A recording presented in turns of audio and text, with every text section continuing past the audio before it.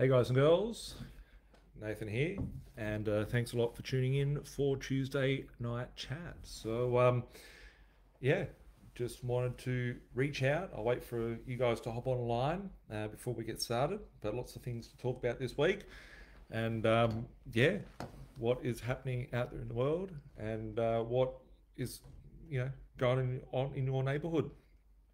So, as we get started, um, as always, I'll start. I'm going to keep this to one hour square this evening. Um, I will be doing um, about 20 minutes worth of news and other related stuff, talking about what's happening out there in the market, and then be taking your questions and answers. So tonight, if you want to uh, flick your questions over uh, via just text in the message box, I'll revert back to that today. Uh, once again, if you do um, happen to want to text over something to, to hit me up on the hotline, uh, the number is 0426 887 564. It's 0426 887 564. And I'll be taking questions and uh, little notes of things that have, um, yeah, if you guys have seen something being inflated away this week or, or going up or something interesting happening out there that you'd like some clarity on, um, feel free to text me over on this number, which once again is 0426 887 564, um, and I will get straight into it. So, looking at something interesting that I only realized about um, maybe about 48 hours ago.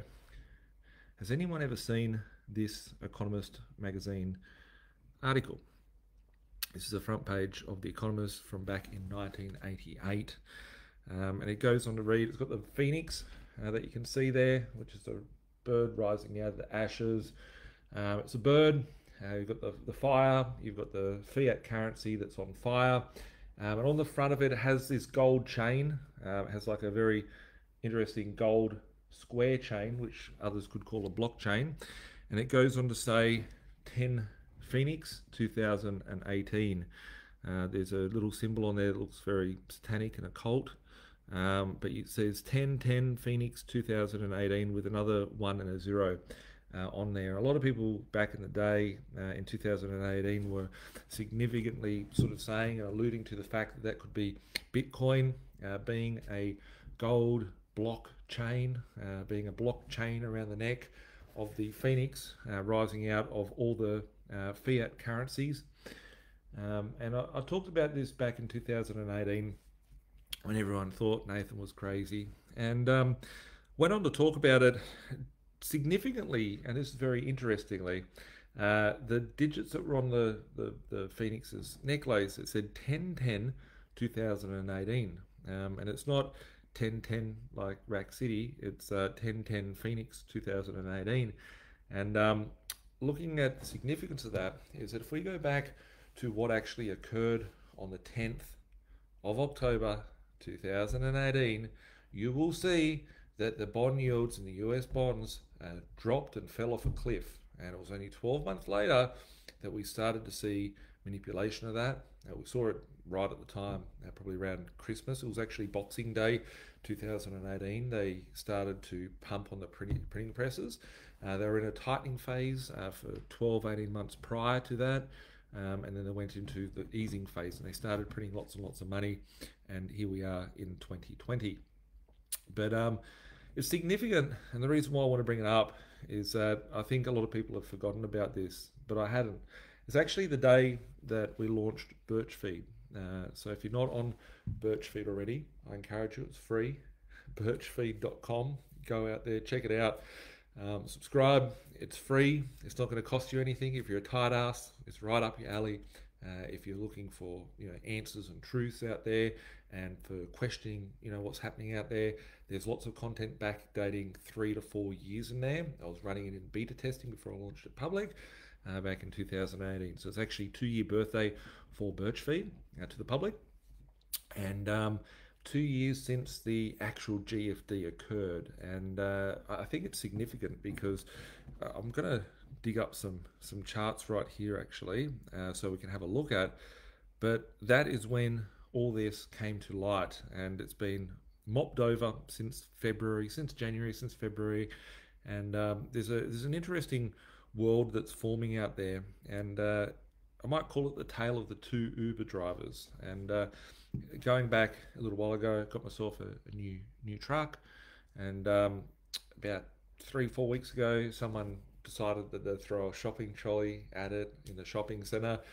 And uh, it copped two big dents. Touch wood, it didn't get any scratches, and the dent guys fixed it up. So shout out to, to Neil from uh, who helped me fix the dents on it today. And um, I went to drop it off. Took a couple of hours. Perfect. All the dents are gone. Cost a couple hundred bucks. And um, yeah, went to the office, called an Uber to the office, and there was this guy, and he was there, and I asked him, like, he goes, "Oh, sorry, I'm wearing a mask," and he said he hadn't been in driving Uber for a while. Um, said he was financially impacted a little bit, um, but yeah, it was cool, right? And then uh, I had to go pick up my car, and I drove to uh, back to the dent removal place, and um, basically when I went back, there was another Uber driver, and this guy was like, "Please sit in the back." Don't touch me, don't look at me. And this guy was going on like, are you okay with corona and all this sort of stuff. And uh, he goes, look, it's going to be really bad until they come up with a vaccine. And I was like, I don't even want to have a communication with you. And um, yeah, it was just interesting to see, um, you know, the the two different thought processes on the world that we live in. And um, he told me that things were really um, were really bad for him. And um, and you know, I tried to talk to him, but I couldn't make cut through with him. Um, but the guy in the morning was like, you know, we had a bit of a laughter, and, and you know, it was the first, it was actually his first client uh, since Corona, so he hadn't been driving Uber. So it was random that I got this guy. He'd been on a on a bit of a strike for a period of time, and it was his first ride back. But he wasn't phased about it. The second guy was, and the guy that was concerned about it was telling me how bad his life was. Um, you know, his thoughts on the world, and he'd been harboring a lot of you know, I guess, the negative energy out of you know the media. And um, if we look at the the media, it's always negativity and uh, you know negative headlines, negative stories, and a lot of people are buying into it. Uh, when I picked up my car afterwards, I went and saw my mate, and uh, he had some other cars that were nearby, and uh, he was stripping some of these cars, and he's like, "Man, I remember you telling me about the hyperinflation about three years ago, and I thought you're off your head." And then um, he's like, "Mate, these cars that I'm buying, the secondhand cars, have gone up in value every sort of time he buys a car. They're continuously going up in value." And he's like, "Man, the the like I'm selling engines for what I was paying for the car going back." you know a month ago two months ago because of what's happening out there in the marketplaces so uh, i guess this time is whatever you want to make of this market whether you want to look at the positives of it or look at the negatives um, I, I realized when I was faced with an Uber driver who was telling me how bad his life was, it did kind of get me down. Um, he asked me like, "How are you going?" And I was like, "Oh, you know, things aren't too bad." You know, had to try and match it because I was like, "Man, I'm killing. I love life now, right? Like, there's so many cool things that are happening." And um, I guess during this period of time, you can make that decision whether you know you can see the light and you can see the energy, and you can see the the positivity out of you know the opportunities that sit in front of you, or you can see you know the negativity. So now I made jokes with my mate uh, who was stripping the cars. I said to him that um, yeah I want to go and purchase some cars and dump them in some properties where you know just as a bit of a time capsule. I do have a lot of old cars that you know have gone up considerably over the years. Um, but the opportunity, you know, even cars that used to sell for 50 bucks, 100 bucks beforehand are now selling for like five to 10 grand. So you can still go and buy those sort of those sort of vehicles out there. But what uh, I want to look at is um, this chart, which you can't really see it right now. And I've screenshotted these charts in the past. I posted these into um, Birchfeed the other day. But this is a 10 year bond yield. I'm going to try and get this on the right angle. This is a five-year bill uh, bill rate, um, and you can see in 2018, which is in about the middle there, that's when the bond market started going down. You can look, look it up. Um, you can look up the three month, the five five year, the ten year, the one year, whatever they are. The bond yields were going all the way up until they all started to meet uh, back in um, the start. It was probably about March 2018, and I made some posts of certain things, and I will post these actually into Birchfeed very shortly when we got off here. um, and I talked about this thing called a, a death cross. And this death cross is when the yields invert from a, a positive yield curve to a negative yield curve, meaning that the younger uh, maturity dates, being the three month and the 12 month bonds, start paying a higher yield than the, the longer yield curve. Um, and if we look at what happened with the, the, the rates on these charts, which I will post in a Birchfeed a little bit later, they went negative and the bond yields, the first one up the top, um, is 2005 pre GFC, and the red and the green were 2018, 2017, and they were touching at the end. And I predicted that this uh, area here would step back and turn into a negative uh, yielding curve line, and that is what happened um, at, at, at one uh, extent uh, back in um, the uh, I just saw someone sent me a message. I think someone just had a baby. So I think one of my nieces just had a baby. So I just saw that on my phone. Uh, got to go check that out later. But um, I saw this occurring, and um, that yield curve completely fell off the cliff uh, in and around the 10th of uh, October 2018. So uh, just you know, be really mindful of, of that is what uh, occurred back at the time. Um, and I'll see if I can find some other charts here just to share with you that. And I guess my point for like for pointing this out is that there's a lot of signals that indicate new things that are about to occur in uh, in the markets out there. So uh, I'm just going to type in there the Dow Jones. And this one will be a fun one.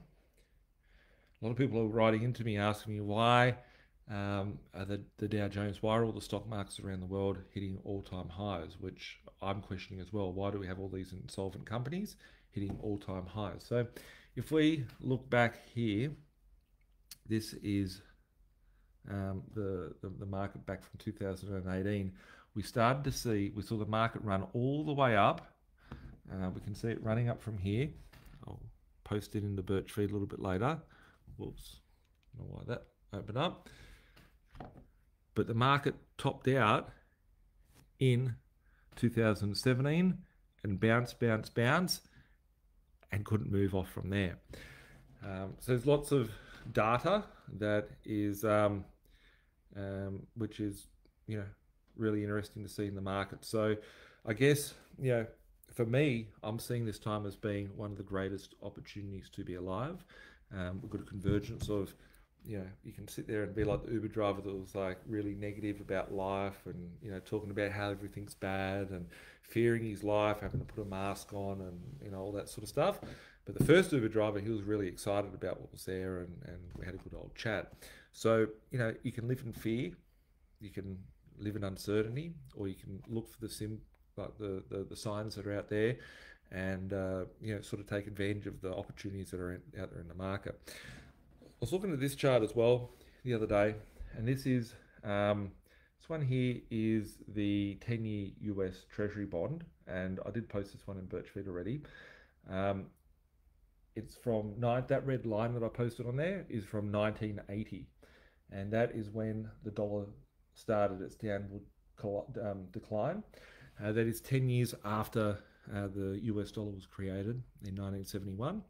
And um, from that, um, that coincidentally coincided with the Hunt brothers and the uh, highest uh, price that silver ever went to, which was $50 US back in 1980. So it was really interesting to see that they blamed a silver market hitting an all time high, being cornered market from the Hunt brothers who pushed the price up allegedly. Um, and then ever since then, we've seen the price of silver being manipulated downwards, and if we looked at it indexed to inflation, uh, it would be much less than what it was back in 1980s, as well as the fact that the currency has been continuously dying uh, from that point. So it was just something else that I'd seen the other day. The reason why uh, I looked at that is because there's some inflation that is occurring out there in the market. So I'm going to read my first article uh, from today, um, which goes on to say the US Mint is hiking silver prices will charge $67 for one uh, one ounce uncirculated American silver eagle coin starting Tuesday, October the 13th.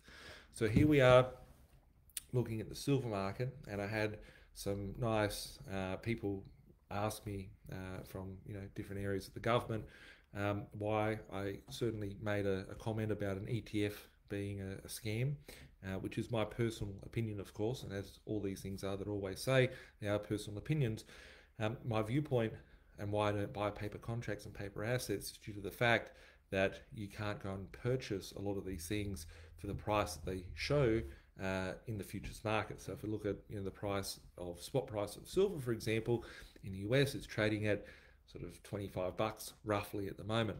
But go find me some silver for $25. Go find me a barrel of oil at around you know 80 uh, around 30 bucks or 40 bucks whatever it's trading for today. Uh, these things are not occurring out there. So here we are starting to see the US Mint print out new money, which is uh, just bullion grade sort of silver. Um, price of products containing silver, which will cha- effectively change October 13th, 2020. Resetting silver prices is necessary. No inflation hard. This is from Silver Doctors. I posted this into Birchfeed the other day as well. Um, so this article here is this is a, a, a Twitter post. Uh, it is from the actual um, US Mint and it says US the United States Mint recently adopted a new strategy for pricing products in silver numismatic products portfolio. Price of all products containing silver effectively changed October 13, 2020, applicable to all silver products already on sale and those yet to be released. In order for the US States Mint to cover rising costs to meet its fiduciary responsibility to operate at no net cost to taxpayers and return money to the Treasury General Fund, resetting silver prices is necessary. And then, um, yeah, this goes on with all different links to different areas of the government uh, entity. And he goes, that's $67 for each uncirculated silver eagle. Notice that while these coins are one step above, for example, the tubes of eagles, they are not necessarily a coin that uh, one could think of as numismatic. Uh, I'd call them a semi-numismatic, but hey, the US Mint is hiking prices at almost 25% on the uncirculated silver eagle alone, and the US Mint can't really afford to cheap out now, can they? The five ounce uncirculated anyway. Uh, go check out the article. But there we go. We've got silver coming out at the US Mint at a higher price than what it ever has uh, before. I have a question as well, um, and this goes to everybody. Um, and one of the things also, uh, I've spoken, I think I've spoken to like five people or six people from Melbourne in the last sort of uh, 24 hours, 48 hours. Um, and one thing that I've realized is that you guys in Victoria, we're questioning things, right? A lot of people don't question the world that they live in. A lot of people don't question until they're put in a position which is very uncomfortable, and then you have to start to question these things. So, you know, just a shout out to everyone in Melbourne. Um, you know, I'm hearing things that are out there that you know they're still in lockdown and it's getting worse and all this sort of stuff. Um, I had a thought after I spoke to someone uh, yesterday, and that is why does not our crime minister, Mr. Scamo, uh, come out and step in because he's meant to be the Prime Minister of Australia, should he not be? Um, why is he not coming out to help out all those in Victoria and uh, you know say, look, this isn't on. We're going to stop this. We're going to stand step step in and uh, help all these people in Victoria. And I don't have the answer for that, right? But I find it very interesting. Why do we have we have these people in power? Everyone looks up to them and obeys them without questioning. Uh, but I think it's important for people to start questioning. You know, who are these people? Who do they work for?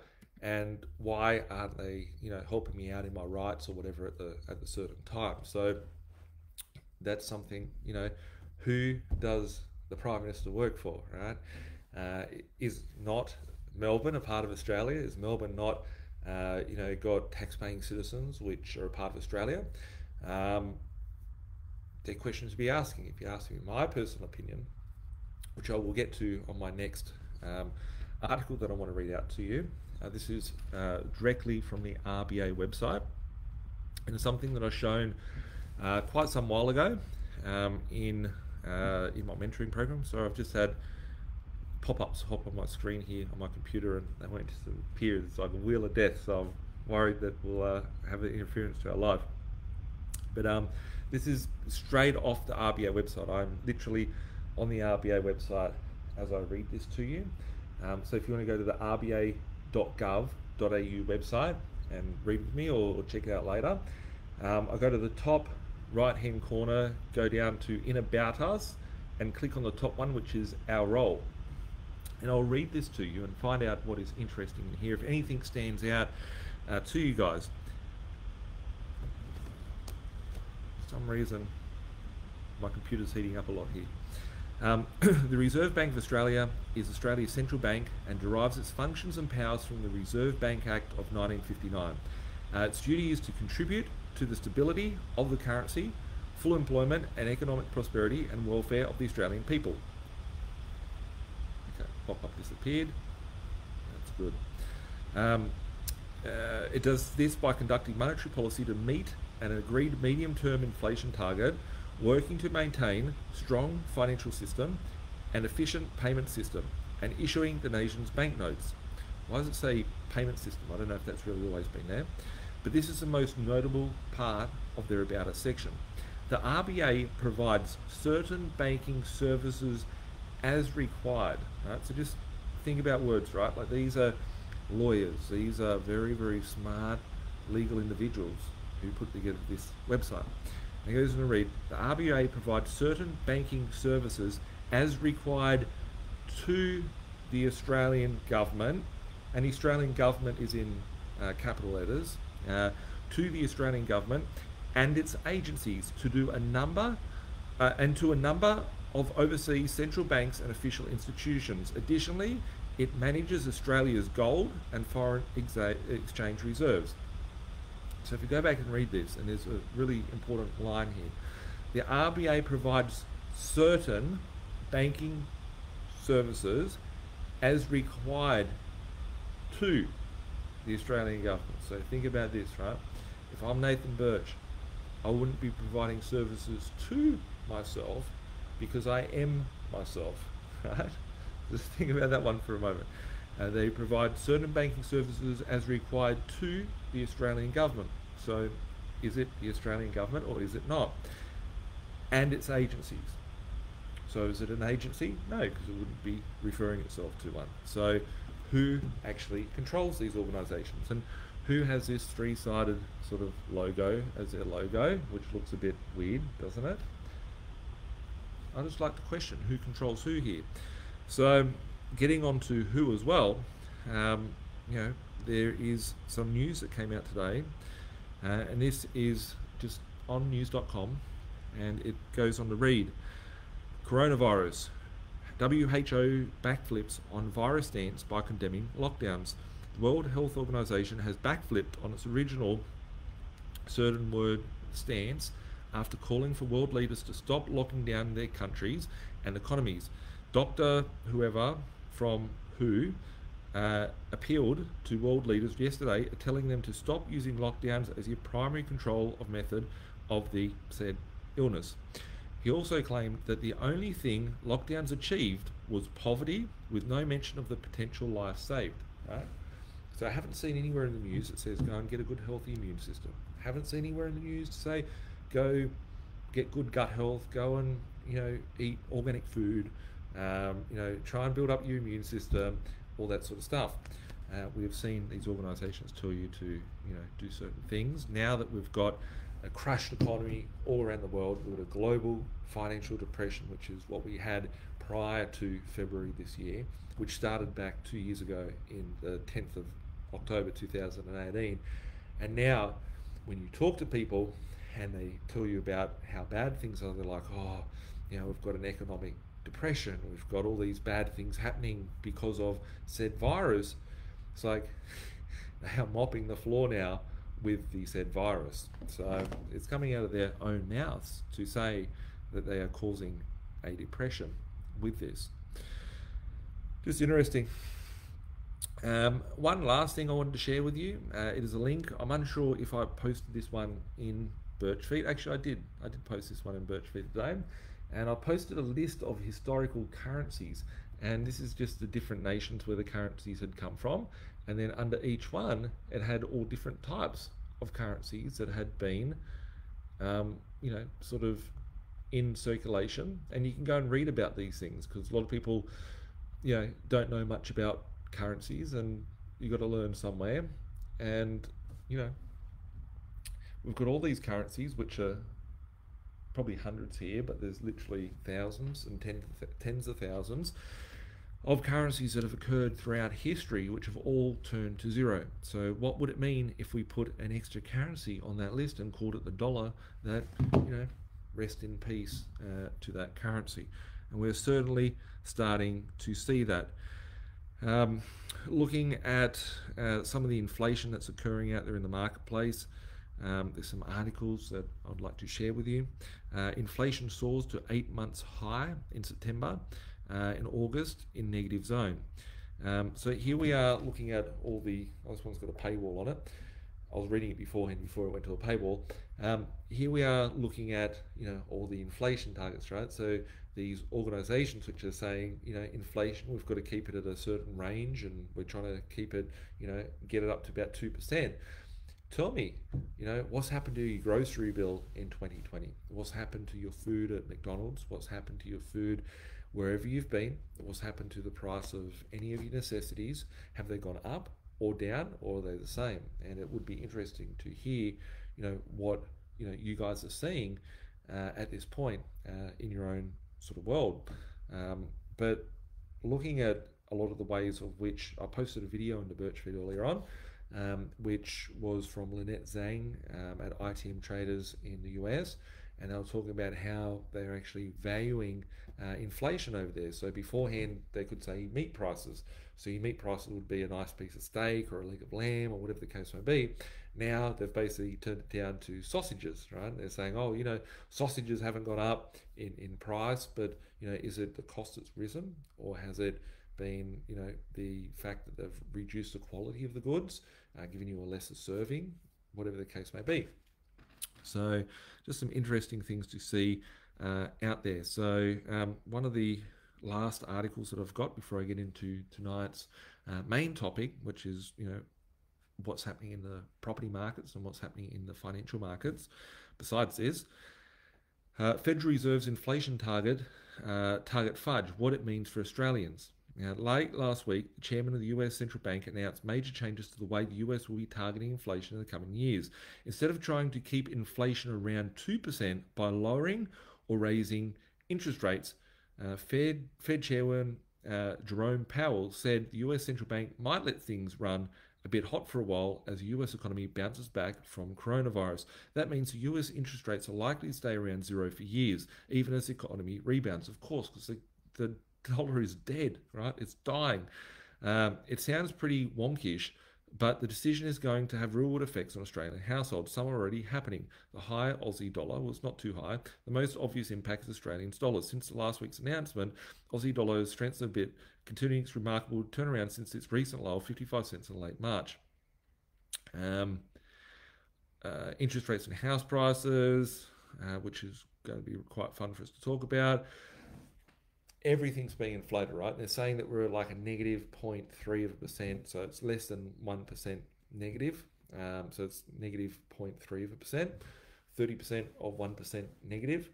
Um, but if this is what we're seeing in the current market when we have, you know, you know, allegedly inflation at a negative effect, uh, what will it look like when we start seeing real inflation like 2% or maybe 10 times the amount of you know inflation of where we're at at the moment. And what I think we will start to see is um, you know larger price increases and larger price rises in certain um, you know things that we purchase on a day-to-day basis. So whether it be clothes, whether it be you know any sort of gadget or doodad or or whatever, a second-hand car, a part for your car, uh, a push bike, um, a set of dumb- dumbbells, you know, these things are going up dramatically, and they're saying that there is no inflation in the current market. So, just a bit of food for thought, guys. Now, getting on to the fun part of tonight. If you do have any questions, flick them into the, the thread um, or send me a message on this phone. Uh, I can see a couple of you guys have done that already this evening. Just once again, this phone number that I hold in my hand, just to uh, you know, take notes from you guys. Uh, phone number here is 0426 887 564. Flick over any questions or, or, that that you may have. Um, actually, someone sent me last week um, um, about inflation, which I didn't see until just now. Uh, frozen blueberries at Aldi uh, are now 300 grams instead of 500 grams. It seems cheaper, but it's not. It's 9.97 per kilo compared to $7.38 per kilo. Frozen blueberries used to be the same price per kilo with the frozen mixed berries and raspberries. So, you know, whether it comes to your food or whatever it comes to, it is, um, you know, a, a lot of inflation that's happening out there. So, um, firstly, uh, at B.Invested, um, keep keep them coming through. I'm seeing your little notes here, guys. Um, at B.Invested at my head office, um, we have been in unprecedented sort of growth in uh, in 2020. We've been doing really well during this time. Uh, some people are doing well. Uh, some people, are, you know, taking advantage of the opportunities that are out there and, and seeing things that are happening. Um, we're in the process of recruiting uh, 15. Uh, I can't even give you, know, three hands, right? You go five, five, five. Right? We've got 15 uh, jobs available at the moment. Now you can go to seek.com. Uh, there is all different jobs in all different areas of, uh, of business um, to be able to. Um, I just realized that I need to disappear for a second and plug my laptop charger in because it is going to die on us.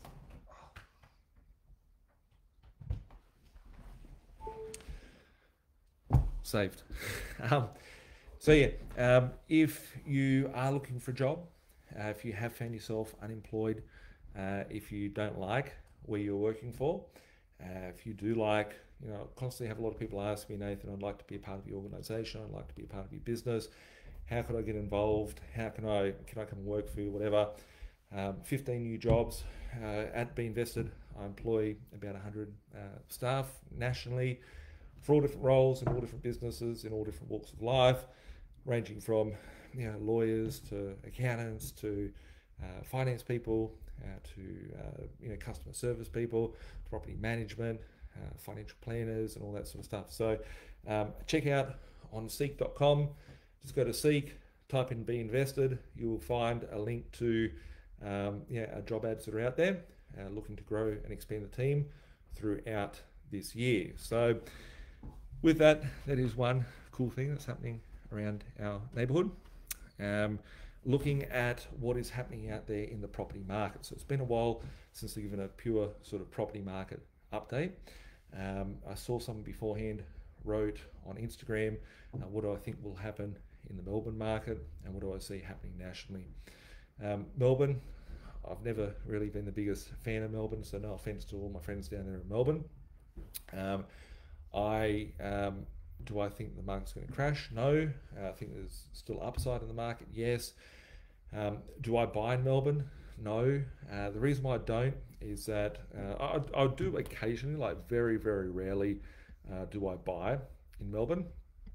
Um, but when I do, it's very severely discounted. So I'm negotiating on one big deal at the moment, which is an offer developer in Melbourne, uh, which may come to fruition, may not. Um, but in the Melbourne market, you know, you guys can just drive down the road five minutes. You're not bound by any boundaries. So you can drive down the road and go, oh, he looks like a new area. We can go and build a new subdivision. You've got flat land all the way from Melbourne CBD all the way out uh, to Albury and the borderline of New South Wales. So as for Sydney, I like Sydney because you're bound by sort of national parks and you know it's confined into the Sydney Basin and a lot more opportunity, especially seeing Sydney as being the doormat to the country. So, uh, what am I seeing in Sydney at the moment? Um, the markets are pretty hot. There's a lack of stock in some areas. I'm seeing sort of like a west, a northwest, um, southwest. There's some markets which are doing really incredibly well, and some markets that are just doing okay. As for the inner city sort of areas and locations, uh, that is not something that I'm you know, always active. And I've picked up a few uh, really cool deals, which I'll talk about shortly. Actually, I'll talk about them right now. Um, I picked up a deal probably three months ago, um, which uh, no, actually the deal I started negotiating in January this year. It settled about a month ago, and it was in Botany, uh, so it's uh, right next to the airport. I picked up properties there for 390 to 535. Um, and they re- revalued a day after settlement for 165 grand more for our investors. So there was good opportunity in there. Um, is there activity out there in, the, in, those markets? Yes, there is. There's still activity out there. Um, you know, is there? Is, it's a very you know cautious sort of market out there in the market. So, uh, purchasing properties which are you know low risk with good upside. Uh, some markets are doing hot, as I was saying. Uh, if we look in northwest Sydney, some like the acreage markets, there's nothing around. Um, if we look at you know all the first homeowner areas, nothing around. If we look at the new property market, there's nothing really around. If we look at like that middle class sort of area, the white collar worker, uh, those markets around that sort of 800 to one and a half million dollar price points, um, you know, they're quite active sort of markets at the moment. The lower end of town, uh, there's some opportunities out there. You can pick up stuff. The cheapest property I've bought in Sydney uh, this year is uh, 229,000, which went through about two weeks ago for someone. Uh, 229 for property in Sydney, like in Sydney, Sydney. Um, we just bought a property, uh, a bulk deal. It was off market in Parramatta uh, for 290,000, um, you know, which was a really cool deal. Um, and that that has all gone through now. Um, so activity is still out there. Good opportunities in the market. There is a bit of demand, quite a bit of demand. Um, you know, of cheaper stock. So always look at you know minimising that downside risk with the most upside potential. If you look in Queensland, uh, every time I hop on the Facebook uh, or Instagram, I look at one of my mates up to or something. I just see stuff in the stories. I log in every few days. Um, I'm seeing people post stuff and they're like, "We've moved to Queensland, moved to the Gold Coast, moved to Brisbane." Um, as you guys are aware, I've been very bullish on these markets over the last few years, and I said that when we see uh, quantitative easing, I never would have thought that would see people moving to Queensland like this. But um, yeah, I had a lot of confidence in that market, and the market's performing very well. And there is a bit of a boom occurring in that southeast Queensland corridor, anywhere from even Tweed Heads, uh, Byron Bay on the sort of south side of the border, all the way up to the Sunshine Coast. A lot of activity happening there, and all the way through the coast as well. Um, I'm finding that you can still pick up properties uh, in Brisbane. Uh, they're getting harder and harder to get for 150 grand rent for 250 per week. A lot of people are moving from other sort of markets. Um, you know, if you think about the share market, uh, there's a, there's not many dividend paying stocks out there. Uh, people are looking for somewhere to get yields from.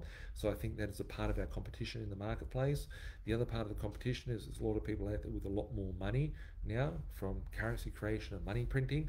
Um, so that money is finding itself into a home, uh, and being at the lower end, there's always a sort of uh, demand there to push up that market.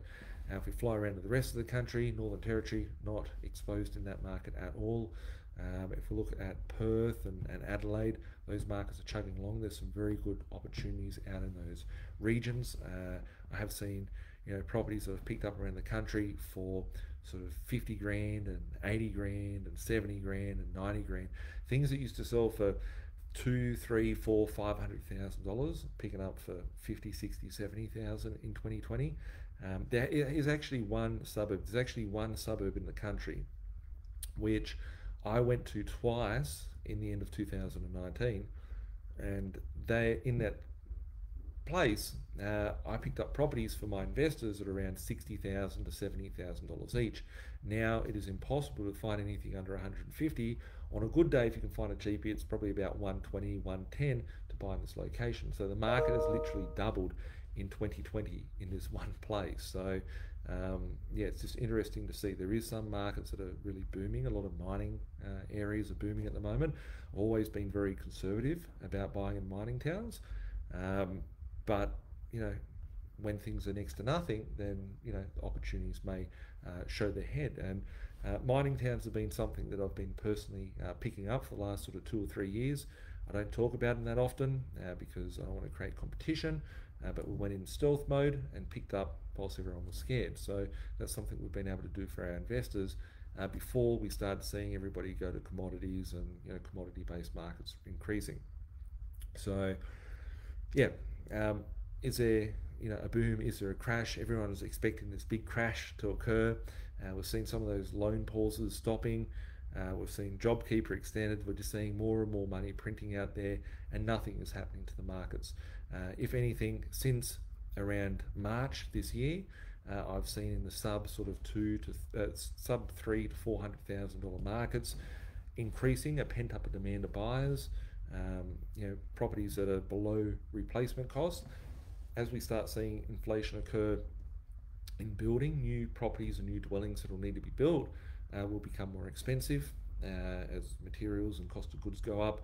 And uh, obviously, that'll naturally impact the rest of the market because people will be like, why am I going to spend so much for a new property when I go buy a second hand uh, sort of established property for that sort of uh, price range, like for much cheaper? And uh, that's what I believe will be a bit of a vortex to suck up that market. So, uh, very much so in the bread and butter sort of market the low end of town when it comes to property. Um, you know, those opportunities, I wish the markets would fall. I want. I'm the biggest fan for a market crash. I would love to see a market crash. However, unfortunately, uh, the property markets in those areas are, you know, very stable and in quite a lot of circumstances increasing. So it is making uh, my life more difficult for purchasing properties and assets on behalf of my investors. So that's just something I'm seeing out there uh, on the ground. As for the amounts of sort of properties and, and what that I'm, I'm purchasing, um, I'm probably one of the largest property buyers in the country. Uh, we secure about 100 properties per month on behalf of our investors. Um, so yeah, looking at yeah exposure in the market and the amount of agents that I speak with and, and market data that I get on a day-to-day basis. I'm exposed to a lot of things out there in the market. I'm seeing these things. This is me reporting sort of like real information from on the on the ground and not you know, just some statistical data. Statistical data can be manipulated in any way, shape, or format that you wish it to be. Um, so yeah, looking at it, markets are very hot out there. Where will they go to? Well, you know, we've all got to question ourselves what will be influencing the market, as I've been talking about for many years. I said that we'd see a market crash uh, back in the late 2016, uh, early 2017, due to the fact that the banks, the central banks, policymakers, and our you know the bosses of all the, the allegedly uh, you know market makers out there being the prime ministers and everyone who do they work for? They are the central banks. And you know we've got to look at the policies of where monetary policy is flowing. We've seen interest rates come down uh, over the course of the last 12 months uh, probably about 80% interest rates have come down at the central bank uh, we are on the eve of them going into negative interest rates we will see negative interest rates it's a matter of when not if um, we're at a point where we're about to see in early to 2021, we're going to see uh, monetary policy uh, uh, relax. So it's going to be very loose monetary policy. A lot of people being able to access cheap, uh, available credit out there. Uh, so what will it mean when we start seeing more cheap, more available, more readily accessible sort of credit? It will mean that people will be taking advantage of the opportunities, getting as much credit as they can to go and purchase assets, which will push a firecrack in the bottom of the market and push that up. So uh, is all lost. I've been purchasing properties every year uh, since I could sign a contract back in 2003. So, sort of 17 years on, I'm still buying properties and I've been able to find and navigate sort of opportunities throughout every single year, even through those times where I said the market could be, you know, going backwards or still purchasing and still being able to find and negotiate sort of bargains. So, you know, what is your you know story going to be at the end of this? As I said at the start of tonight, had two Uber drivers today, one that took me to my office and one took me back to my car. And uh, the one that took me back, it was really depressing. I was like, I can't even talk to this bloke, right? I'm happy as fucking pig and shit. And this guy here is depressed as fuck. And it's like, this guy has the same opportunity as the other 25 million people in the country. How many people are going to be excited and how people, how many people aren't? I don't mean being excited by being flippant, or being excited because you understand how the game is being played and where the opportunities lay within this market. So I was thinking, um, you know, it's been a good sort of six months since this scamdemic came out. Um, let's look at a few of my investors. I'm not going to go in there and talk about their positions in the detail. I'm not going to talk about, you know, um, their names or anything like that. Just you know, from a high level, some of the sort of things that people are doing and some of the moves that people are making within the current market. So, as I said beforehand, some properties, some cheap properties have been purchasing, uh, whether they be in um, in you know Sydney, in Brisbane, interstate, many different states, uh, whether it be regional, whether it be mining. Um, you know, as I said beforehand, I did touch on mining. I'm not a mining guy, and I'm always anti-mining, but I do see opportunities, and I have seen them. Uh, will those opportunities persist? I don't think so, right? The, the days are numbered for mining, and I will be exiting not exiting by selling, but exiting by not partaking in the boom that is starting to occur in some of those locations. So, um, one of the deals that came across my desk uh, today, uh, $70,000 for a three bedroom unit. So 70 grand for a three bedroom unit. Uh, I just bought a Ford Ranger Raptor. It's a nice car, it's really cool. Um, I paid 74 grand. So I could have bought a, a, car for 74 grand, or I could have bought a, um, a, a, a unit for 70 grand. The thing with this unit is that it sold, that these things were selling in the same complex, identical to it, uh, going back five, six years ago for five, six hundred thousand dollars. So we're picking it up for like, you know, 10, 15% of what it was selling for in the past, renting for $300 per week. So it's a, it's a juicy sort of cash flow. Um, it's not suitable for everybody. Um, however, um, you know, these things used to rent for 15, 1600 bucks a week. So if there is a bit of a swing in this market, um, you know, and the rents did go from 300 bucks a week to um, to sort of 1800 or 1500 or 1200 dollars per week and we see people taking and snapping this market up and all the suckers coming in ready to get slaughtered it would be a good asset that you could take from the bottom of the market with down minimal downside risk. You can go buy yourself a, a new ford ute pickup truck or you can go find yourself a, uh, a three bedroom property which rents for 300 bucks a week in a crap market and you know has the potential and upside to go to 1500 bucks per week. Um, you know what are these deals looking like? Um, I've got someone, um, someone that some of these are like really proud sort of stories, and um, you know I'm really excited, and I, I, I, get you know a big kick out of being able to help and, and serve the community. You guys. Um, by helping you guys on your journey, and you guys having confidence and trust and, and faith in myself and, and my team. Like last week, you saw a few of my team. I've got all different teams, all different people. As I said, like I've got about 100 staff that I employ and, um, and looking to employ uh, 15 new staff in the middle of a depression. So this is not a recession.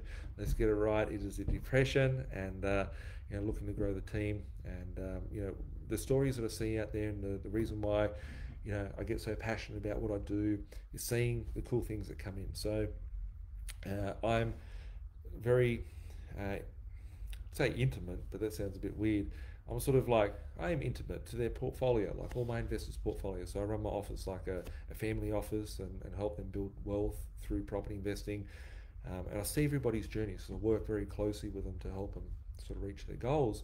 And you know, I, I get proud, I get inspired by seeing people overcome their, their mindset and the obstacles that come in life. So it's there's some really cool, touching stories out. There. So I've got one, uh, one couple bought one property, sort of like eight years ago had a personal issue which they couldn't purchase anymore uh, for a while. And uh, just only recently, about a month or two ago, uh, they went out and purchased, I think it was four, four new properties. So went from one to five properties uh, in a month.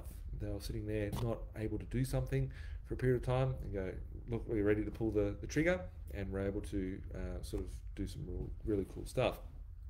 Um, the one guy who came to us recently, uh, he had 25 grand savings and goes, I want to get a portfolio, built. Uh, he bought a property two days after settlement. Uh, he had 25 grand, bought a property. Uh, it was, I think it was about 80 grand, 90 grand. Two days after settlement, he was able to pull out 45 grand, go and buy another property, which is about to settle, and I think we can probably pull out sort of 50 to 100 grand on it. So these things are not things that I say we can always do. So don't go, I want that what he got. Uh, everybody's position is different, and you know, once again, I don't give financial advice on these sort of things either. Um, I've got more people in 2020 which have been able to, um, you know, go from um, you know one property to sort of five or six this year than any other time in history of the business, and it's not due to the fact that you know our business has grown and we're getting bigger and all that sort of stuff. It's just people's ability to take advantage of opportunities uh, in this market and in these times. They're educated, they're knowledgeable, they're seeing you know the opportunities that present themselves in front of you know in front of them today, and that's what's really cool.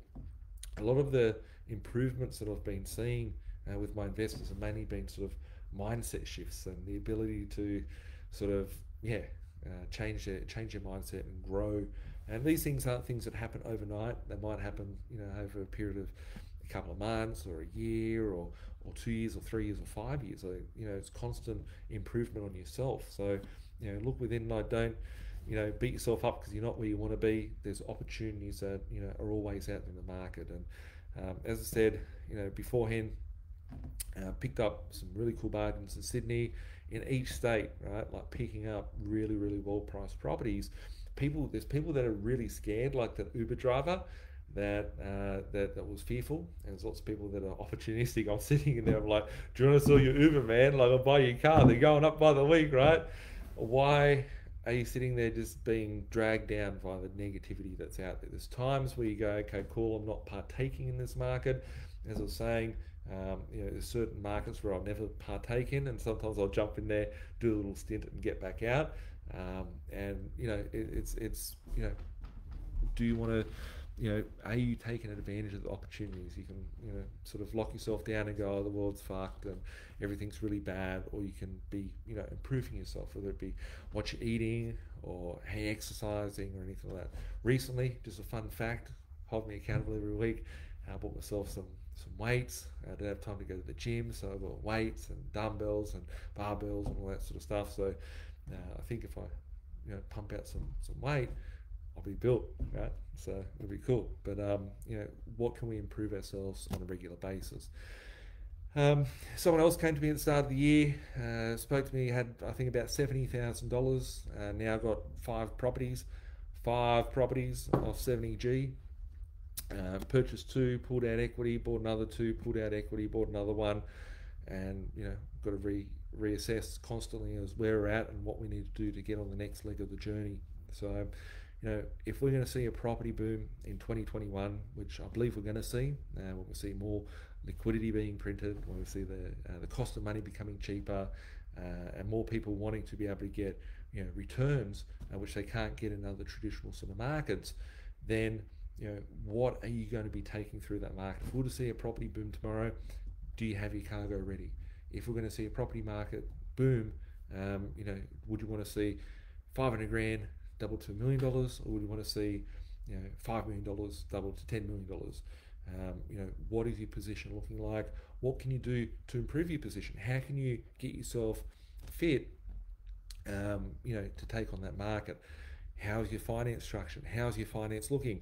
Um, I was sitting with someone yesterday, one of my investors for many years, um, and he's a, he's a really good guy, really, really good guy. I've known him for about 10 years now, and um, caught up with him. I said, let's look at your portfolio. He's getting on. I'm like, what do we need to do? Shape it up so you can retire. And uh, he came in the office and sitting down, and I was like, I thought we'll catch up next week. And when I was sitting there, I was like, tell me what's happening with the interest rates. And he goes, oh, I don't know, right? Uh, so our conversation began as like, where are we at? And then I sent him home with a big list of homework, what he needs to do, because he hadn't looked at his interest rates. He hadn't looked at a few things for a while. And I believe that we can sort of carve out some some rates for him and uh, maybe save save himself sort of like twenty thirty thousand uh, dollars per year um, on on interest. And if you could save twenty grand a year on interest, would that help you, you know, take back one day a week at work? Would it help you be able to, you know, restructure your life? So having that that portfolio and that position sort of helps you get to the next leg of your journey. So it doesn't matter whether you've got a portfolio, we haven't got a portfolio. There's always something you can be doing. What can we do with your rents? Can we push the rents up? Um, I was looking. I was actually in a, a management meeting with um, a senior management today, and I was talking to Michelle from from Queensland. And it's like I'm looking forward to the properties that are becoming vacant because uh, we can push the rents up, and we're getting good rents at the moment in the market up in Queensland. So, what have you done in the last six months, right? This is it's nearly the end of 2020, right? Most people are being fearful, they've been brainwashed from the media and all that sort of stuff. What have you done in 2020, right? How has your year panned out for you? Um, and I will touch more on this sort of next week because I'm going to get to your questions now as we've only got sort of five, ten minutes left. Um, but eh, what have you done? What can you be doing? You just going to sit here and let uh, the best opportunity. I will never let a crisis go to waste. A crisis is amazing. Um, last week we had the budget. I did my budget chat. If you haven't seen it, go check out the budget chat. I had a, an interview with Ridwan Hannon from One Path Accountants with me uh, in the office. We talked about you know, the budget, and it wasn't a traditional budget. I couldn't stop laughing. I was smiling. I was like, "This is amazing. We've got so many, uh, so much debt. The world is a wash of debt. They just have to keep printing money to keep this Ponzi scheme alive. We're in a debt-based fiat Ponzi scheme bubble, and it's going to pop. everything's going to get popped. Doesn't matter if you've got a house, a, a $200 car, you know, everything is going up in value in this period of time. And seeing the uh, levels of debt, um, yeah, I'm talking to people and they're like, oh, you know, there are people that don't know me and that aren't a part of this community. They might someone down at the, the shops or, or wherever. They turn around, they're like, oh, you know, our kids are going to be in debt and our grandkids are going to be in debt and all this sort of stuff. I just love it, right? Load us up with debt, load the nation up with debt, bankrupt the nation, bankrupt all the nations, right? Kill our currency. What is the opportunity within that? Because once one thing dies, where can we take that through to the other side? And no lie should get to the other side, and no dirty scheme should get to the other side. And that is where, you know, if you have the opportunities with, you know, how you protect yourself and set yourself up on this side, it doesn't get taken into the new paradigm. So could you leave, you know, your debt and you know debt and death on this side? Um, when I say debt and death, your your debt is a death contract, right? And it's it's something that everybody's stuck to debt. So if we're going to see this debt get inflated away, the only way for us to survive this is to see the debt get inflated away. Debt becomes relevant with inflation. Um, and they're showing their hand, right? The hand has been shown. They're just going to print their way through this. So, yeah, on that side, what are you doing at this point in time? Uh, next week, when I catch up, I'll be talking about. Um, let's talk about what have you done for this year. Let's talk about a bit about goal planning. Maybe what about we can do next year as well. So I'm open to you guys with the community you guys have any topics or anything specifically you want me to talk about, happy to chat about it next week. So flick us a message on that. Going to read through a few of your questions. Uh, got Michelle here. Um, Sid, thanks for posting up that phone number. Tracy from New Zealand, we've just gone uh, below 2% interest for one year fixed. Uh, there's so many banks at the start of this year, there was no banks that were under 2%. Now in Australia, we've got lots and lots of banks which are under 2%. It is amazing, right? Who would have thought? I remember when people said, Nathan, you know, you're off your head. Interest rates aren't going to go down. You may want them to go down, but you're going to go bankrupt because house uh, because interest rates are going to go up and house prices are going to crash. And I was like, I laughed, right? I laughed, and I was like, interest rates are not going up; they're going down, and they went down. And uh, here we are with sub two percent, and I believe we'll see low one percent uh, over the course of 2021. So let's see uh, what is happening out there. So uh, we've got Gemma. Hey guys, awesome to see all my lovely clients tuning in. Uh, thanks for hopping on, Gemma. I see a lot of my team here and here as well. So um, reach out to everyone. Lisa, hey Nathan, we settled on uh, today on property number six. Thank you so much for the great work you do and the B.Invested in Zinger. You guys are amazing. Now working on number seven. You are, and you've almost got number seven settling shortly. So big um, sort of shout out there to Lisa. Good work, and it's awesome. Like it's it's humbling seeing the stories and seeing what people are doing out there in the community and the the goals that they're kicking. So Lisa, uh, really awesome and. Uh, yeah, I think gold price, I think silver price is 30 $35 and uh, something cents today. So just FYI. Um, little running joke between us. Uh, Mahesh, someone else is kicking ass over there. Mahesh, good good work as well. Um, uh, hands up, who's loving Birchfeed from Gemma? Now, if you guys are not on Birchfeed, just do yourself a favor. If you don't like it, you can delete it.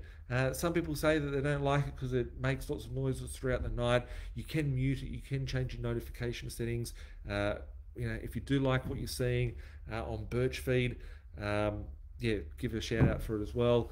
Um, and I just want to say a bit of gratitude as well for everyone that has been writing in really cool reviews for us over in Google. Uh, really humbled for the um, for the, the comments and the love that's out there. If you are liking these feeds, uh, you know it does take a lot to be here every week to do these videos and to think of the content and, and provide you with information. If you do like it, if you could just give a bit of love, go over to Google, give us a review, let us know what you're liking about and what you've learned and what you've been able to apply to your life from these videos.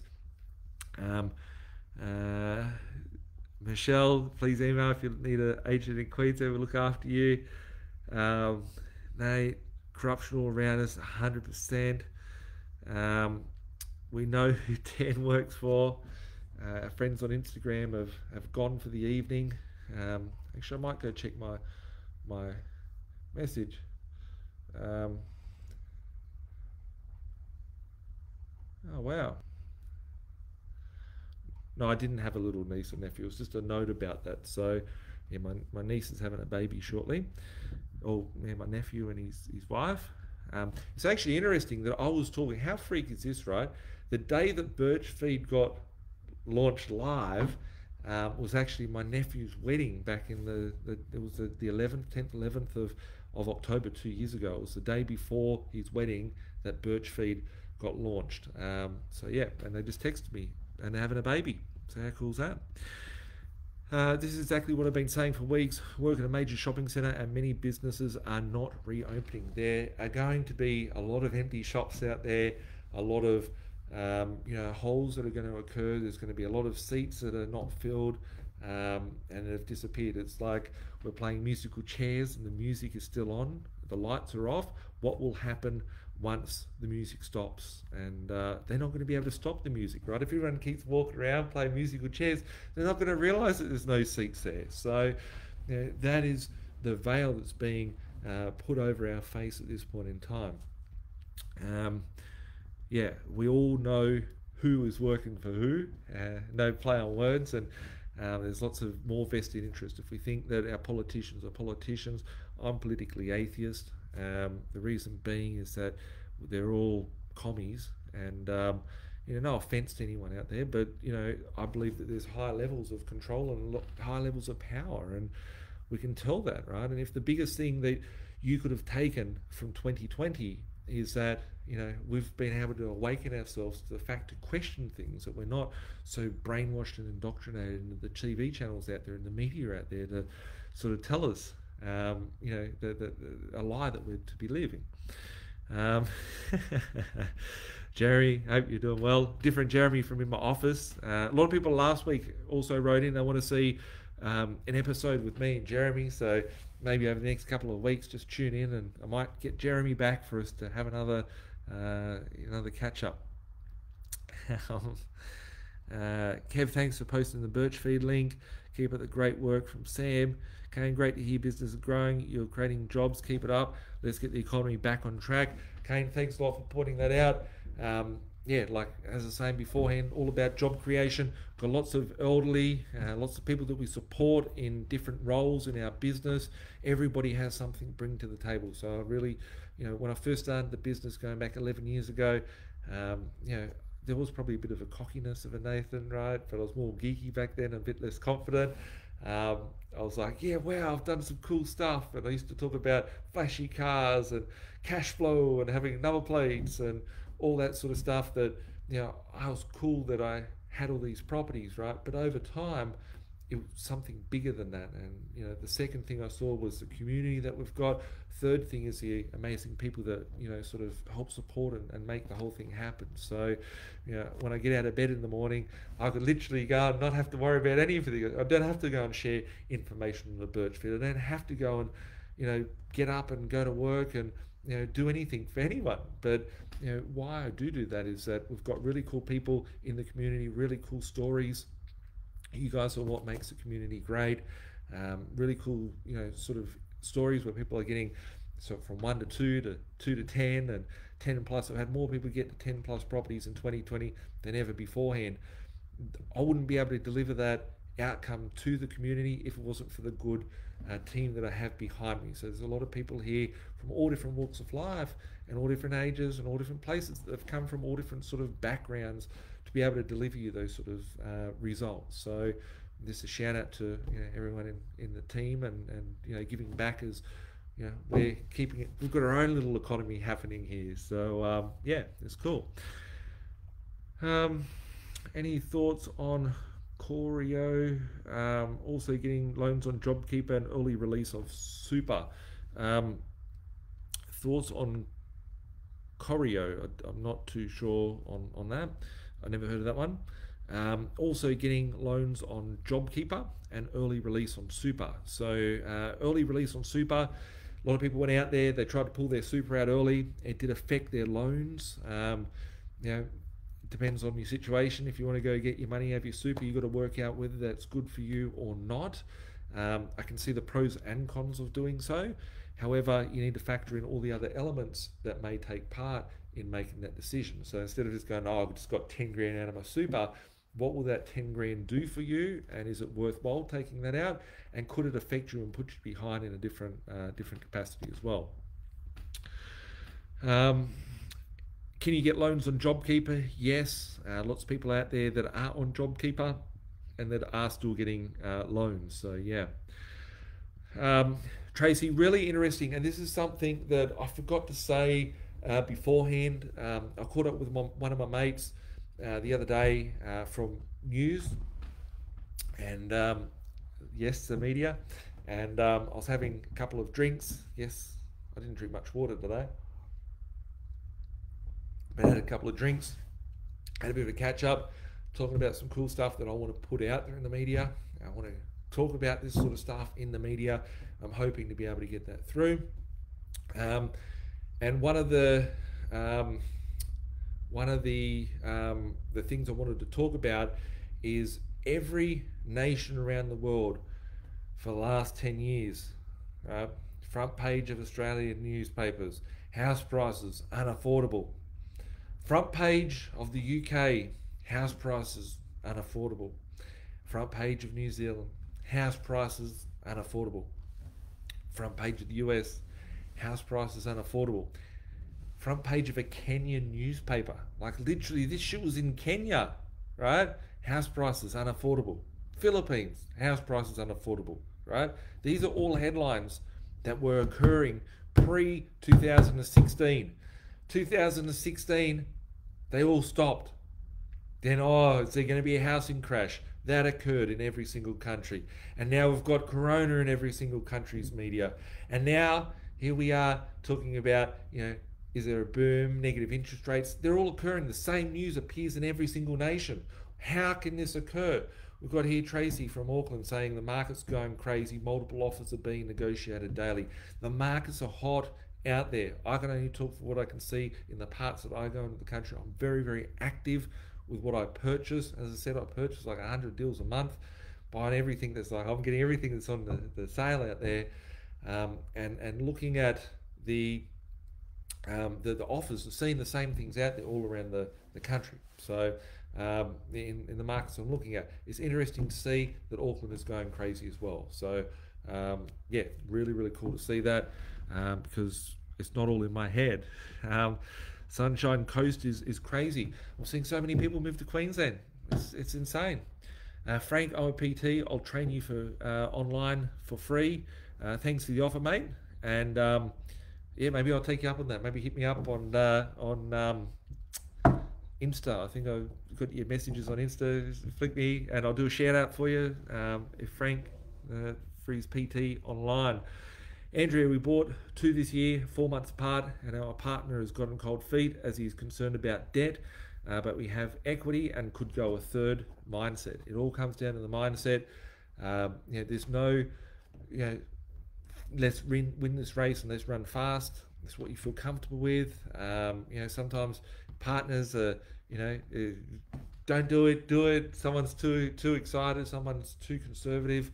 Um, you guys need to have clarity. And I think the greatest way for everyone being on the same page, if you can get husband and wife um, on the same page, um, got some common goals, they both understand why they're trying to achieve this. They look at the risks, and do a SWOT analysis on you know the whole whole position. Look at it like a business. Look at like you know what could go right, what could go wrong, what are the potentials, how will it help, what will both of you get out of building the property portfolio.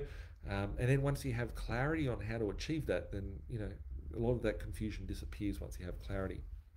Sam sent you an email, mate. Thank you. I saw your email before we went live. I flagged it. I'll get back to you a little bit later. Uh, thanks for reaching out, mate. Phil, uh, Nathan, what is your view on the industrial warehouse market, particularly Sydney? That's a very interesting one, Phil.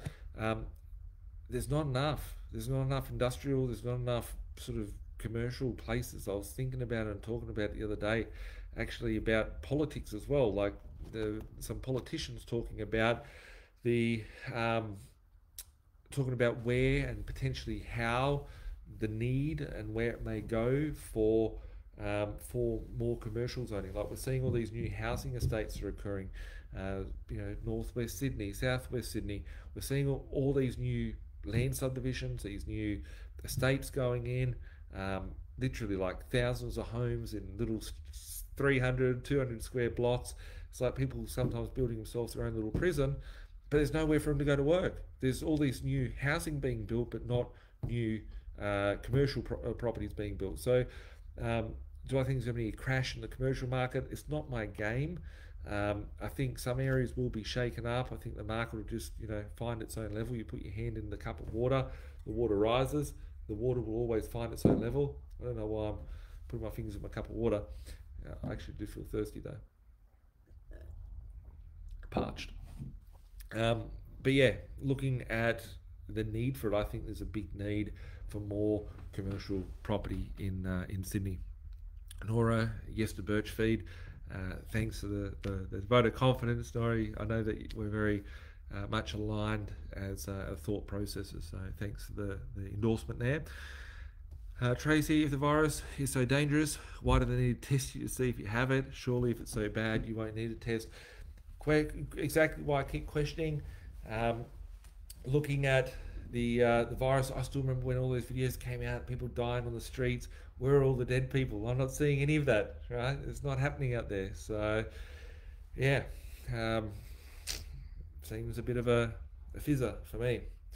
Um, Adrian, what do you think of the Gold Coast property market? Uh, I talked about beforehand. I think Gold Coast property market is very hot. I'm a big fan of it. Um, I think there's a lot of upside for it. You can pick up properties for 180, 220,000, rent for 300. Properties that I'm buying in the Gold Coast, sort of between um, 180 to about 270,000, rent for 300 to 400 per week. So yeah. Um, Corio in Victoria, the beachside suburb. I'm not that familiar with it. Sorry, sorry about that one. So um, yeah, I don't have the answer uh, on on those ones, and and for uh, to to Geelong. So uh, for me. Uh, a lot of people actually had someone today ask me what do I think of Ballarat, and I asked how much would a property in Ballarat cost, and they said to me um, 200 to 250 for a house. And I said, what about a unit? And they said like 120, 130 grand. I'm not familiar in that market, but certainly for that sort of money, I can buy in, you know, Brisbane, Gold Coast, Perth, um, many different markets that are in capital cities, rather than a regional area that's you know a, a long while out of a capital city. So yeah. Um, Frank, you have a good memory. yes, I do have a, a, a, good memory. The nutrition, I actually do eat quite well. I just eat a lot of food nowadays and stuff like that. So, um, Vincent, uh, I know. Uh, can you compare buying below market value property versus townhouse development? I uh, hope you can share some advices on developments. Um, I don't do developments all that much, uh, just because I want to own and control the asset. I don't want to do a flip. So my business isn't buying a property and selling it. I'm accumulating, right? I'm a big fat whale. That's what I'm so fat for now. Um, I'm, I'm a whale. I, I, I like to go and pick up and accumulate assets because if we were to see a property boom tomorrow, I want to take, you know, I could sell off, let's say I've got 70 mil worth of property today, I could sell off 20, pay out 20 mil worth of debt, Oh, which I don't have, got like 18 and a half, but let's just call it that. I'll have 50 mil worth of property, but I'd rather see the 70 double to 140 than the 50 double to 100.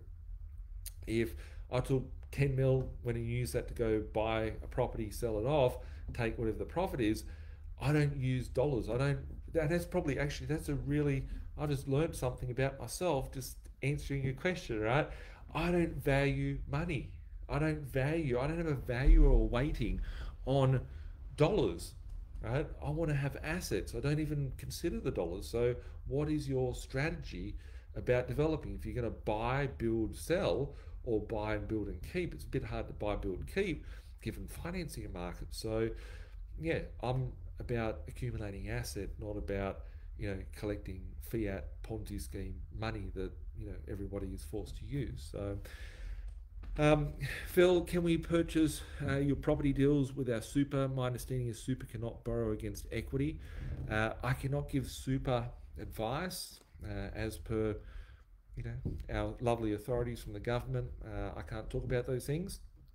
However, uh, you know, I'm an opinionated guy that's got a lot of crazy views of the world and give you my thoughts on what I would do and what I've seen other people do. I can certainly do that. Um, you know, I've seen people buy lots of properties under their super.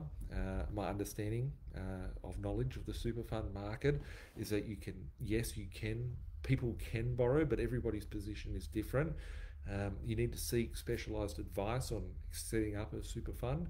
Um, there's a lot of compliance with inside that, but certainly uh, you can buy properties. Uh, probably each month I might buy sort of 10 or so properties in a, in a super fund. There's, there's properties that we buy in super funds for our investors um, that are out there. And um, yeah, you, people can buy that. So if you do need help, if you have got a super fund and you do want to shift it and protect it and take it out of, you know, a Ponzi scheme roulette table sort of uh, environment, um, speak to someone that does specialize in that. I can put you in contact with those people. You can contact the office 1300 367 925 or email us at admin at binvested.com.au and can help you uh, out on that front. Um, so I've got a couple of um, messages on the phone which I'm going to read out. Um, uh, yeah, so I'll, I'll, read these out. And Vincent, I saw, um, uh, I see your point on the current finance situation. We'll think about accumulating assets.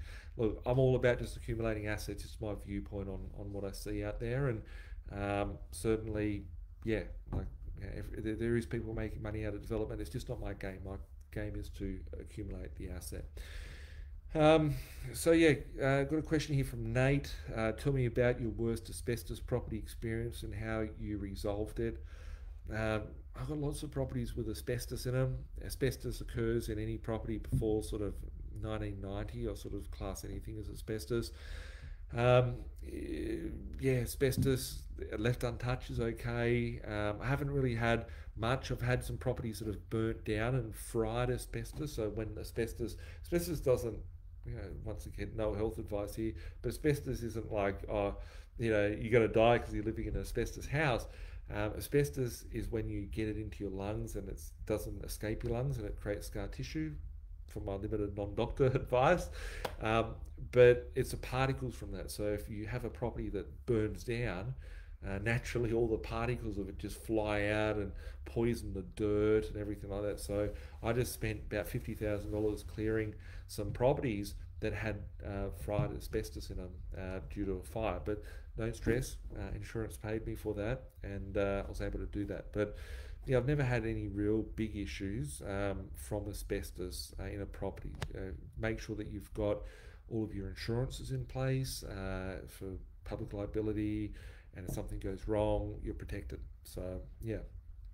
Um, uh, hey, bitchy, birchy. That's uh, that's cool.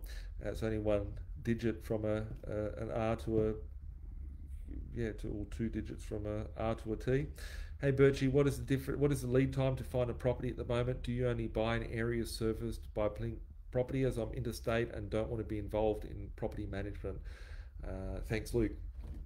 Uh, Luke, um, I buy properties nationally. I buy them in all different locations. I don't talk about them public of where I buy them just because it's my own intellectual property um, and always make sure that I'm buying stuff which you know helps my investors build build wealth with their portfolio.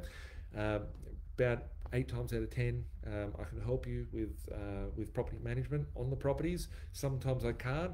If I can't, I'll put you in contact with someone that we know and, and that in an area, in a local area that can help you on that front. So um, I, am actually taking Blink National. Uh, it's been something that's been in the works for a long time, just getting all the, the paperwork and everything sorted at the moment. So I will be in everybody's neighbourhood from a, ma- a, property management perspective very shortly. Um, how long does it take me to find a property? Depends on one's requirements. Sometimes it could be a day, a week, a month, a couple of months. Sometimes you know, six months uh, to find a property. So it just depends on your position and what you're trying to achieve um, and the types of assets that would fit in line with that. Uh, generally, how I work uh, from a from a buyer's agent. So my role in, in my firm is to uh, locate and negotiate deals and help my investors sort of build their portfolio. So I work one on one with my investors to help them build wealth and different types of strategies to be able to achieve wealth uh, using property as a primary vehicle. Um, on that front, um, I sort of have people, some people that may have bought six months ago, they need to buy their second, third, fourth, fifth property. Um, I can only work with a certain amount of investors at any one time. Generally, it's around sort of like the 15 to 20. Sometimes I have a waiting list, so you need to go into a queue and, and wait. So I need to get the people at the top first that have been waiting the longest. Um, it could be a, a, day, it could be a week, it could be a month. So yeah, um, but but speak to my team. Uh, you know, everyone saw my team last week on here. Um, my investor relation managers are here to help you um, sort of yeah build that um, sort of uh, yeah get get on board with everything. So. Uh, got here, um, let us out. Zach Dan Andrews uh, drove around Melbourne CBD today. Uh, I've seen a few people post this. Interesting. If I was in Melbourne, I think I'd be in jail probably. Never contemplated thinking I'd ever go to jail, but if I was stuck in the prison down there, I'd probably be trying to get out. Um, so last couple of questions, and then I'm leaving you all. Adrian, where do you find the properties on the Gold Coast we have uh, just sold and look for a new project? Are you talking about North Gold Coast area? I might contact your office. Adrian, reach out to my team. Uh, call my office 1300 367 925. Um, a couple of my my, my, my staff are, are in here. Um, so I think uh, I saw Kev um, and Gemma before, and maybe Pat's in here, and maybe Aaron. So I don't think Jeremy's on Facebook. Um, but have a chat with my team um, about you know how we can help you on that front. I purchase all over Australia. It doesn't matter little towns that people don't know about, little regions. People like, oh really? I didn't know they're there. Um, but yeah, there's, there's pockets in Brisbane. Like I picked up a property in Brisbane the other day for sub 100. so it's, uh, it's, it's interesting what's out there. Um, Judy, if I become your client and wanted to buy properties, what services do you offer uh, in the process?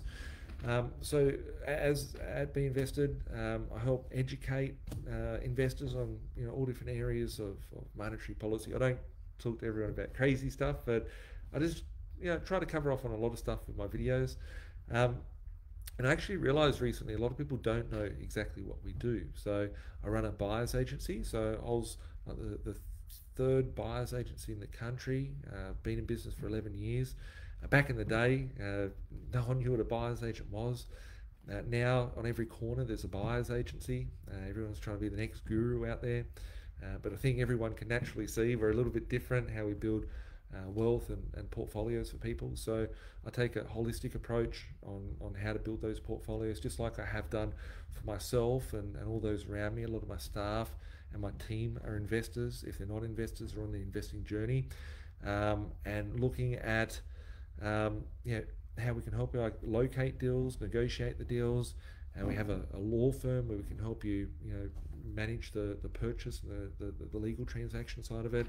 I can help you out from accounting, uh, from finance, um, from management of the property. So, you know, anywhere on your journey, uh, you know, some people use this for some things, some people don't use it for others, some people use this for all of our services. Uh, all the, the brands uh, I've founded myself, uh, I own all the businesses. Um, so, yeah, like I've got the experts that I've found over the years that have helped me on my journey to build over 200 properties in my portfolio and have been a crucial part of my journey uh, and I provide them for you to be able to use at your disposal as well. So when you know I put them out there, uh, I have confidence in in the people because they've been the ones that have been able to provide uh, for my own personal results as well. So if I, if we can help you, would love to be able to help you um, and be able to talk about your your journey. I said I buy a lot of properties on a monthly basis, and there's it's very humbling to see. Um, you know the amount of confidence and, and, and faith that you guys have in myself and my team to be able to deliver you the results and um, you know seeing everyone grow and, and where they come from and where they get to is, is really humbling experience so yeah if we can help out that'd be awesome um, Bevan, thanks for the help uh, from your property investor team. I'm a first timer and got nearly three property underway within with confidence. Bevan, really awesome to be at your um, at, at, at, at, you know at your uh, service uh, to be able to help you with your journey.